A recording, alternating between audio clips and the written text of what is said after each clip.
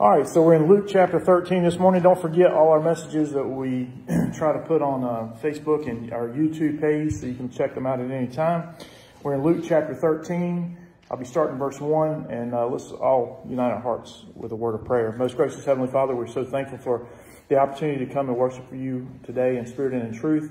I pray that you'll just uh, let your presence be felt here today as we go through your word, and let us glean from your, your word what it is you'd have us to, to hear. Uh, if anyone's here doesn't know you today, I pray the day would be the day of salvation. Uh, just uh, bless each one that come out today. In Jesus' name, amen. Luke chapter 13, starting with verse 1. There was present at that season some that told him of the Galileans whose blood Pilate had mingled with their sacrifices. And Jesus answered, answering, said unto them, Suppose ye that these Galileans were sinners above all the Galileans because they suffered such things? I tell you, nay, but except ye repent, ye shall all likewise perish. Or those eighteen upon whom the tower in Siloam fell and slew them, think ye that they were sinners above all men that dwelt in Jerusalem? I tell you, nay, but except ye repent, ye shall all likewise perish. Now hold your place there because I'm going to come back to that here shortly. But some years ago, the late George Gallup Jr. or Sr. did a nationwide poll and discovered one of the most bewildering, bewildering paradoxes of his career. He discovered that religious interest is growing at an unprecedented rate, but so is immoral behavior. Gallup's poll revealed that there was little, quote, little difference between those who go to church and those who do not. What Gallup discovered is what many people, both inside and outside the church, deep down know in their hearts. There's really no difference between most people who go to church and most people who don't. More evidence suggests that church members have sex outside of marriage at the same rate as non-church members. Church members are just as prone to lie, steal, commit all types of sin as people who are not even affiliated with the church at all. But the question is, why is that true? There should be a marked difference between the people of God and the people who claim no association with the Lord. Why is it why isn't there more of a difference between the average person who goes to church and the average person who doesn't? I believe the answer can be found in one word, repentance. You know, this is why we're so quickly called hypocrites out here in the world is that the, the world judges us by everything we do and, you know, we can't judge them, but they can judge us. But hypocrite is the first word they throw out at you. And again, I think it's because of uh, repentance. To the average person in the world, the word repent is almost a religious joke word. Whenever a cartoonist wants to depict a narrow-minded religious fanatic, he'll draw a person holding up a sign with the words, repent sinner. See that so often. Yet, while the world makes light of the idea of repentance, Jesus said something about the issue that should chill us to the bone. What Jesus said about repentance reveals that it's no laughing matter. When Jesus said what he said here about repentance, he isn't making a joke at all. Notice in that verse there, he says, I tell you, nay, but except you repent, you shall all likewise perish. Now that's a powerful statement and we need to understand what it means. It means the death of Jesus, the blood of Jesus, and the cross of Jesus is absolutely worthless to you if you do not repent. The death of Jesus Christ cannot cure one sin in one sinner if that sinner refuses to repent. The blood of Jesus Christ cannot cleanse one sin of one sinner if that sinner refuses to repent. The cross of Jesus Christ cannot cancel one sin of one sinner if that sinner refuses to repent. So it doesn't matter what else you do. It doesn't matter how well you do it. Jesus said, except ye repent, ye shall all likewise perish. Now, without repentance, you have no chance of going to heaven. Some might say, wait a minute now, I go to church, I believe in God, I'm religious, I do such and such things, they'll outline things they do. None of this matters if you do not repent of your sins. I'd give you an example. Take a $100 bill, a counterfeit $100 bill. If that $100 bill gets into the circulation it can do a lot of good. It can pay a lot of bills. It can buy a lot of food. It can buy a lot of medicine. It can even be put in the church offering plate. It can help pay the church bills and go into the mission field and spread the furtherance of the gospel and support that. But if that $100 bill stays in circulation long enough, somebody is going to get in the hands of a bank teller or somebody. I always cringe when I go to the store. If I, very seldom pay with cash, but if I do, I'm, I'm always I always start feeling guilty when they take that hundred dollar bill or twenty dollar bill and they want to put that marker on it. You know, I'm like I'm I'm going to be the sucker that got stuck with the hundred dollar bill, and uh, it's never happened so far. But once that hundred dollar bill is dis is discovered, what do they do with it? It's destroyed, right? It's taken out of circulation you know, every week I come to think that there's more and more counterfeit Christians going to church. These people do a lot of good. They're religious. They may bring their Bibles to church. They may drop a dollar in the plate. But when they die, God is going to reveal to them, He's going to reveal them for their counterfeit of what they were because they never really repented. And it's going to be tragic. But according to Jesus, you say, will He really do this? Well, he said he would. Matthew 7, 21 through 23 says, Not everyone that saith unto me, Lord, Lord, shall enter into the kingdom of heaven, but he that doth the will of my Father which is in heaven. Many will say to me in that day, Lord, Lord, have we not prophesied in thy name? And in thy name have cast out devils? And in thy name have done many wonderful works? And then I will profess unto them, this is Jesus talking, and then I will profess unto them, I never knew you. Depart from me, ye that work iniquity. Now, for some reason, it's not too popular for preachers to get up and preach about repentance. There's some preachers that will never preach about repentance. But I'm going to preach about it today, and I pray that as I pray, as I teach you and preach to you on repentance, that you reflect on your own heart and your own life and ask yourself, has there been a time when you've repented of your sins, when you reached out to Jesus Christ in faith and, and repented of, and been saved? So this passage speaks to us about the matter of repentance, about the steps we need to take in regards to repentance. And the title of my message today is A Turn in the Right Direction. A Turn in the Right Direction. And the first point I have is accept the fact of repentance. You just have to accept it. From one end of the Bible to the other, from Genesis to Revelation, the idea of repentance fills the pages of that book in your lap right there. The theme of repentance is in that Bible right there 959 times in the Word of God. It is the call of the Old Testament and it's the command of the New Testament. and the Bible is clear that we must repent. The very, think about it. The very first sermon Jesus Christ ever preached was a sermon on repentance in Matthew 4 17. Jesus said from that time, the Word of God says, from that time Jesus began to preach and to say, repent, for the kingdom of heaven is at hand. The first time Jesus sent his disciples out to preach, they echoed the Lord's message in Matthew 6 12 and said, And they went out and preached that men should repent. In the first Christian sermon preached on the day of Pentecost, Acts chapter 2, verse 38, Peter said, Repent and be baptized, every one of you, in the name of Jesus Christ for the remission of sins, and ye shall receive the gift of the Holy Ghost. Then later in Acts chapter 17, verse 30, Paul got up on Mars Hill in Greece and preached to a group of pagan unbelievers. And he said, And the times of the ignorance of God winked at, but now commandeth all men everywhere to repent. So if repentance is really that important, then we need to understand really what repentance is. And in order to understand what repentance is, then it's good to understand what repentance is not. I'm, I'm convinced that repentance is not just a word that is seldom used. It's a word that's often misused and misunderstood. It's true because though repentance is composed of several elements, it cannot be equated with just any one element. So let me illustrate this by three little, little examples here. Repentance involves the conviction of sin, but it's more than the conviction of sin.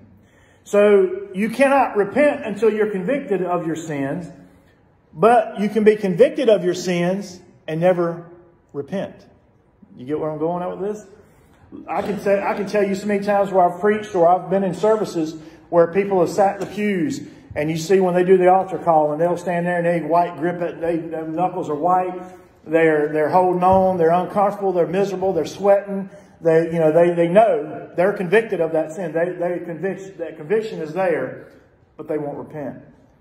And they'll, they, uh, they'll go out of the church and never repent of their sin. So repentance involves the conviction of sin, but it's not just the conviction of sin. Repentance involves the confession of sin, but it's more than confession. The Bible tells us it's full of people who admitted they sinned, but they didn't never repent. Think about Pharaoh. He told Moses over and over again when they were uh, going through the plagues, right, in Exodus, he would say, I have sinned. I have sinned. It's in the, in the scripture so many times. He would tell Moses, I have sinned, I have sinned, I have sinned. But was that repentance? No. Think about Judas in the New Testament, one of Jesus' disciples. He betrayed Jesus. And he said to the, he said to the Pharisees after he cashed in and got his money, he said, I have betrayed the innocent blood. He said that in Matthew 7, 20, 27, 4. He knew he did it. He was convicted of it, but he never repented. In fact, many people today confess not because they want to repent, but simply because they're, they're sorry for they got caught. That seems to be the, the more uh, defining factor. They're not sorry for what they did. There's no remorse. There's no regret.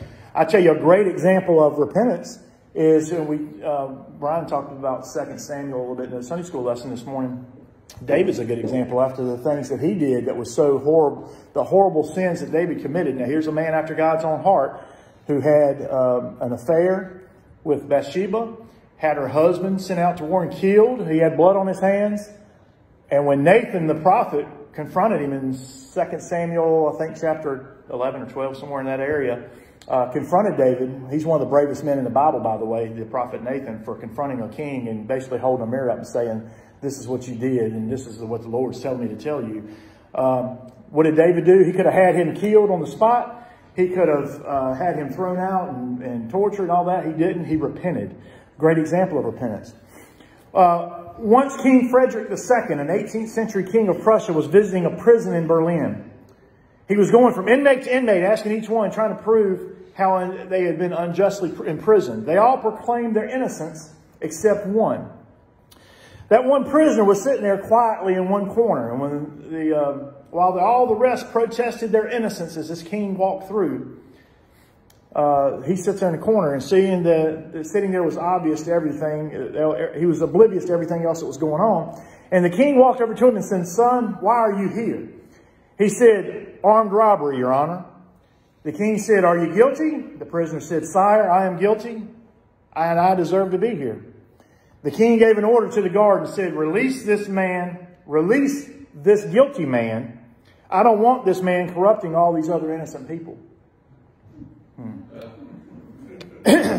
the third thing we see is that repentance involves contrition over sin, but it's more than contrition. You say, what's contrition? Contrition is a good Bible word. It means to be crushed. So repentance is contrition over sin, but it's more than contrition. It means to be crushed. It carries the idea of being broken over what one has done. It means you feel remorseful about your sin.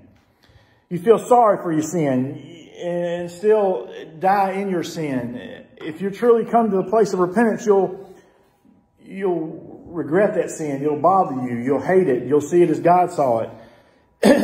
and 2 Corinthians 7, 9 through 10 says, Now I rejoice, not that you were made sorry, but you sorrowed to repentance.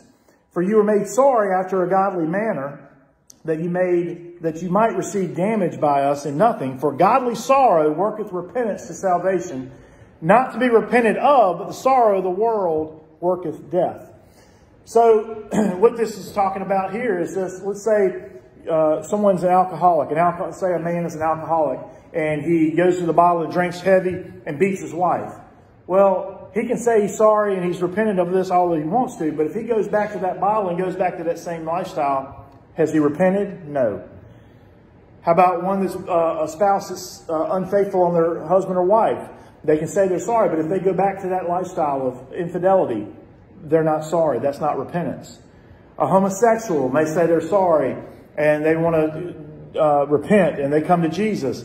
But if they stay in that sinful, uh, wicked lifestyle, that's not true repentance. And that's, that's, that's not repentance at all. It's not a definition of repentance at all. And people always want to throw up in, the face, in your face about How Jesus, he wanted, he hung out with sinners on earth, and he did. But notice when he would meet with them, just like the woman at the well, what would he tell them? Go and sin no more. They were changed. When they come to meet Jesus Christ, they had repented, right? They would go back and, and not live in that lifestyle any longer. So, and I remember, I remind you again of what Jesus said here in our scripture today. Except ye repent, ye shall all likewise perish. So we need to understand that God demands repentance of, over sin. And if we repent of our sins, we will be forgiven. And if we refuse, we will perish in our sins. It's simple as that. It is your choice. It is my choice what we're going to do. Repent or die in your sins. So that's accepting the fact of repentance. Then we see that we apply the force of repentance. We apply the force of repentance. Now, what does that word repent mean? The Greek word metonia, or metanoia, and it literally means to change your mind. Whatever else repentance is, it is a change of mind that results in a change in one's life. Repentance means not only to be broken over your sin, but also to be broken from your sin. It doesn't, uh, it doesn't just result in remorse, which makes you far, sorry for your sin. It doesn't just re result in reformation, where you try to get away from your sin. It results in regeneration, where your heart and your mind are changed and you become a new creature in the Lord Jesus Christ. That's what Scripture teaches us. When you repent, you actually go through several stages. It's a, it's a, it's a process. Repentance is a process. First thing you do is you go to a holy God and you say, finally you admit, I'm a sinner. There's a lot of people who say that, and they'll admit that. That's the first stage, but a person has to come to the place initially where they say that, where I, I admit I'm a sinner. Uh, Romans is correct. I am a sinner. I'm guilty. Second, you come to a place where you say, not only am I a sinner, but I'm sorry for my sin.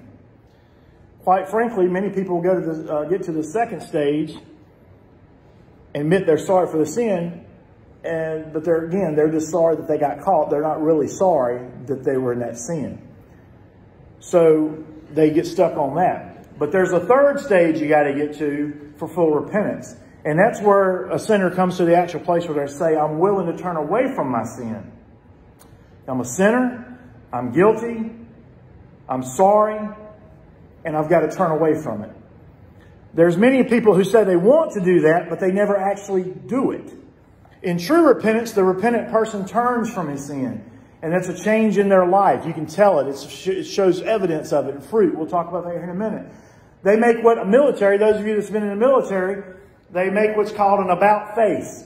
They're going in one direction, they do a complete turn, a complete 180, and they turn from it. There's a town in, uh, in Labrador, Canada called Wabash. Wabush. Wabush.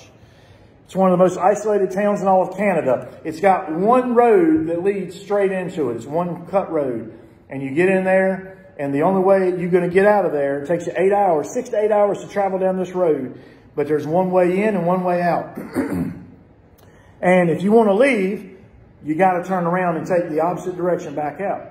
Well, see, every human here today and watching on this video, every human being is born in a town called sin and there's only one road out of it. And that road is Jesus Christ. And to get through that, to, back to that road, you've got to repent. You've got to come out of that sin. You've got to do a 180. You've got to look at that sin the way Jesus and uh, Christ looks views that sin, which is to despise it, to hate it, to set your uh, sail the opposite direction.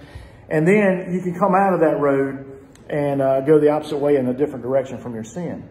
But I'm absolutely convinced that many people, more than we care to admit, have never faced the sin issue in their life. Many people belong to the church. They claim to know Jesus. They want to do religious things, but they're not Christians. Most people have little hope. They put all their hope in a date. They have their hope of salvation in a prayer they prayed or in the assurance they have given by some well-meaning family member or friend. You hear that all the time. They're always looking back to when they supposedly got saved. They may be living a hellish life now, but then the family, and it never fails, when a, when a family member dies, that's a lot of times the only hope a family member has to look back on and say, well, they made that profession when they were young. And I'm not questioning that profession. What I'm saying is, let me ask you some simple questions here about your salvation. For those of you that are here today, think about your salvation experience. Are you truly and radically different since you got saved than you were before you got saved? Do you know that you are different? And can other people see a difference in your life? Or do you just kind of blend in with the status quo out here, this, the, the rest of the folks? Think about this statement. If your religion has not changed your life on the outside, you would better change your religion. Because that's what Jesus does. Jesus changes your life. He makes you a new creature. He changes you from the inside out. 2 Corinthians 5.17 says, Therefore, if any man be in Christ, he is what? A new creature. Old things are passed away. Behold, all things become new.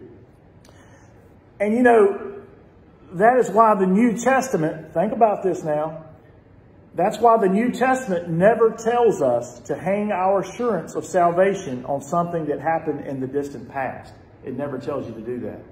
The Bible tells us to consider what we are because what we are reveals the way we stand with the Lord. Think about it. 2 Corinthians 13, 5, Paul said, examine yourselves, whether you be in the faith. That's what I'm telling you all today, to examine yourself.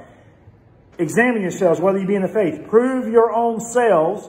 Know ye not your own selves, how that Jesus Christ is in you, except ye be reprobates. So I'm asking you today to examine yourself.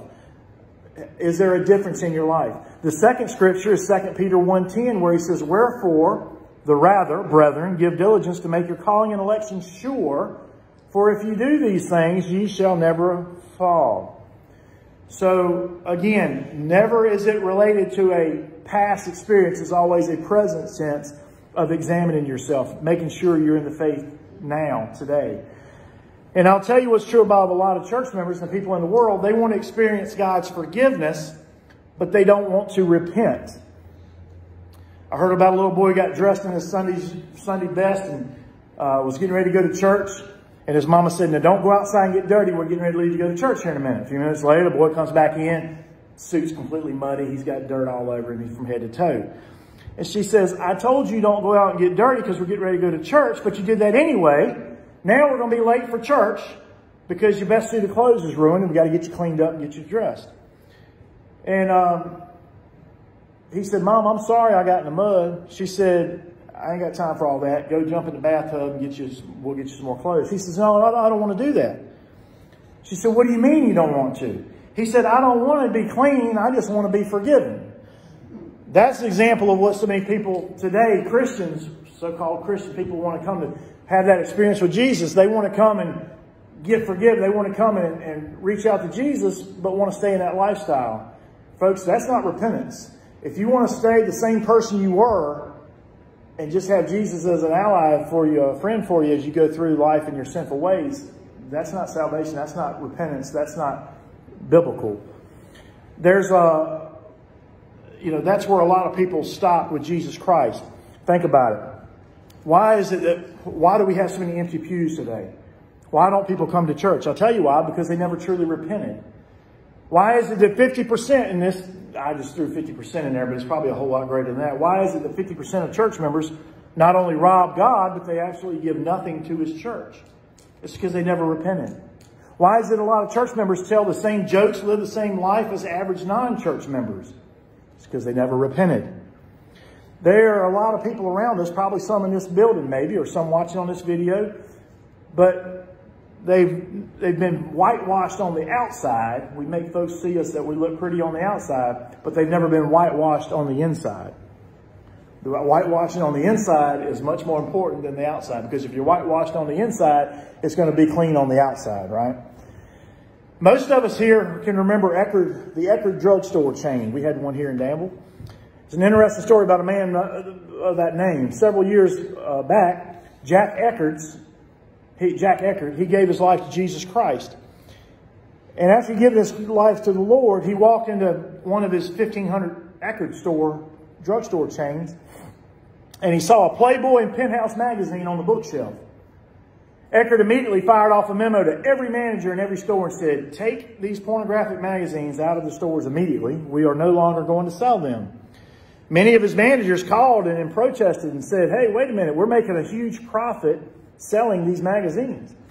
Eckerd said, we may be, but they're not my stores, and I don't want them. they're my stores and I want them out, get, get rid of them. And they never were in there again. So then after that point, you could walk into any Eckerd store anywhere across America and you didn't find those on those shelves. That happened because Jack Eckerd repented of his sin. He cleared it. He cleared the, the uh, debt with, with uh, Jesus. He got, got it straightened out. So we need to examine our own lives today and determine whether or not we've fully repented. That's my question to you today is, have you truly repented? Now, the third thing, we've accepted the fact of repentance. We've applied the force of repentance. Now, thirdly, we need to appropriate the fruit of repentance. Now, go back to today's text of Luke and uh, look at verse 6 through 9. So, Jesus follows his warning about repentance by telling his listeners a parable here that's recorded in chapter, uh, chapter uh, I'm sorry, verses 6 through 9. And I want to read that to you. He says, He spake also this parable. A certain man had a fig tree planted in his vineyard, and he came and sought fruit thereon and found none. Then said he to the dresser of his vineyard, Behold, these three years I come seeking fruit on this fig tree, and find none. Cut it down. Why cumbereth in the ground? And he said unto, uh, and he said unto him, Lord, let it alone this year also, till I shall dig about it and dung it, and it bear fruit well. And if not, then after that shall cut it down.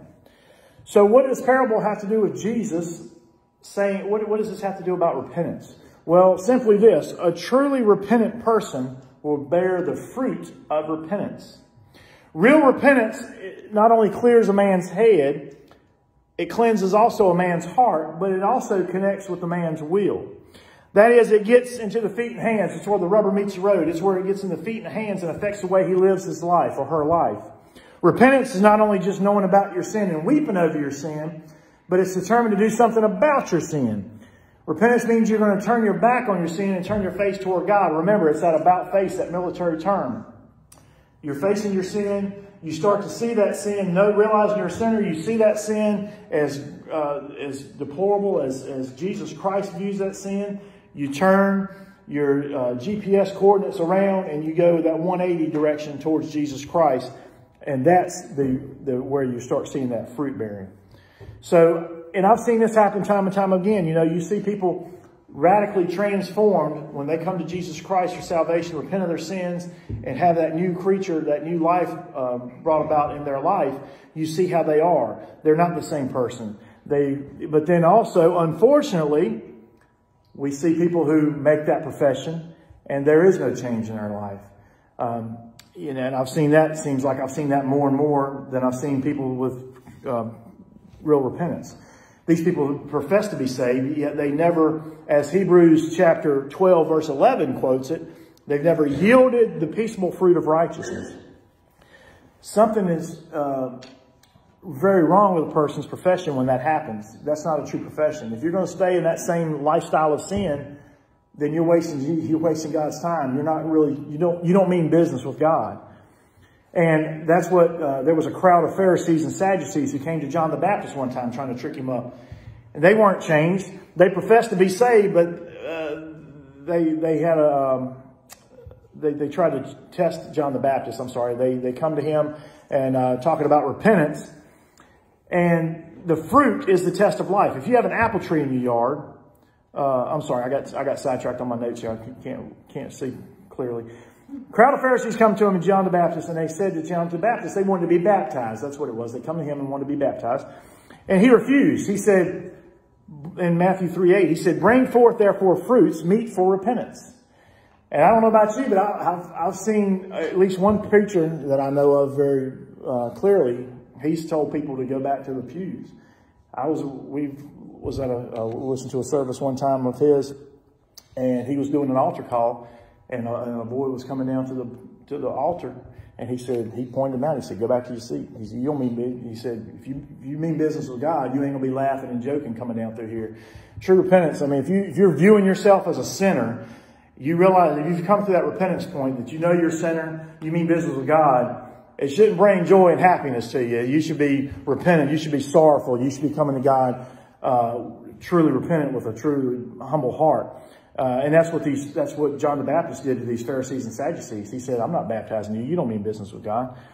The real test of a genuine repentance is fruit. Fruit is the test of life. If you have an apple tree in your yard and you watch that apple tree for a year or three years and an apple tree doesn't bear fruit, I got news for you. That apple tree's dead. It's not going to, grow. it's not going to do anything. You might as well cut it down. Listen to what Jesus said about fruitless trees in Matthew 7, 19 and 20. He said, Every tree that bringeth not forth good fruit is hewn down and cast into the fire. Wherefore by their fruits ye shall know them. So when people say you can't judge me, don't judge me, well, you know, okay, well we can be fruit inspectors, right? We can we can inspect fruit. We can't be a judge. And uh, when the Lord speaks about repentance, He's talking about total repentance, not about partial repentance. A lot of people come down the aisle of the church and make some type of decision for Christ, but it's only a half-hearted repentance. It's only a half-hearted uh, deal they want to work out with God. They're willing to give up some things, but they're not willing to give up everything. But let me tell you this, Half-hearted repentance is nothing more than wholehearted, wholehearted rebellion. Half-hearted repentance is nothing more than wholehearted rebellion. And I've given this uh, illustration before. I heard a shoplifter who wrote an anonymous letter to a department store, and the, the letter said, Dear sir, I've just become a Christian, and I can't sleep at night because I feel guilty over what I took from your store. So here's the $100 I owe you. And he signed it only with his first name, and then he put a PS at the bottom, and it said, if I can't sleep, I'll send you the rest. That's half-hearted repentance, right? You need the whole repentance. The, the fruit of repentance is salvation and a changed life. Paul sums up what I'm trying to say in this whole message in Acts chapters 20, verse 21. He says, testifieth both to the Jews and also to the Greeks, repentance towards God and faith towards our Lord Jesus Christ. That's what it's all about. Repent of your sins to God. Turn by faith to Jesus Christ. Those who call upon the name of the Lord shall be saved. That verse is the essence of what it takes to appropriate the fruit of repentance. We turn from our sins before God. We turn in faith to Jesus. When it happens, salvation is always a true result. So I want you to be honest with God this morning, honest with your own heart as we conclude this message. Has there been a real change in direction in your life? Are you hoping? Are you are you just dwelling on some past profession you made in one time or other? Um, you know, repentance alone is not going to save you, but without repentance, you can't be saved.